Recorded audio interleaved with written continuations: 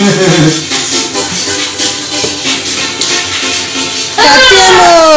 a nossa princesa Maria no Carnaval 2013.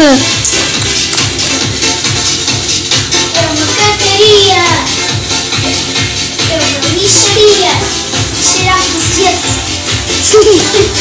Cheira a banho de Dona Maria.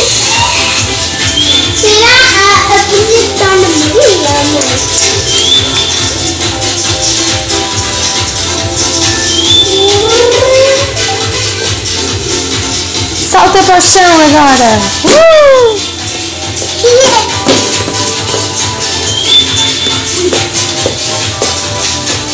Dona Peidona.